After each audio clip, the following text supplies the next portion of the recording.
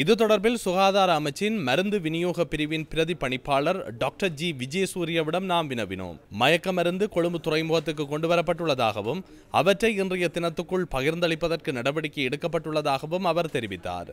மருந்துகளை விடுவிப்பதற்கான ஆவணங்களை இறக்குமதியாளர்கள் சமர்ப்பிக்காமையால் மருந்துகளை பகிர்ந்தளிப்பதில் தாமதம் நிலவுவதாக அவர் கூறினார்.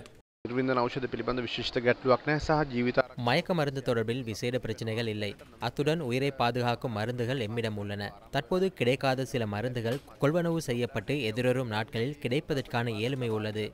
மத்திய மருந்தக களஞ்சியத்தில் இல்லாத மருந்துகளை பெற்றுக்கொள்வதற்கான நிதியை வழங்கியுள்ளதுடன் அனைத்து வைத்தியசாலைகளுக்கு தேவைப்படும் மருந்துகளை அந்தந்த வைத்தியசாலைகளுக்கு வழங்கும் நோக்கில் கொள்வனவு செய்வதற்கான நிதியையும் வழங்கியுள்ளோம். தற்போதைய நிலையில் மருந்துகள் சிறப்பான மட்டத்தில் வழங்கப்பட்டு வருகின்றன.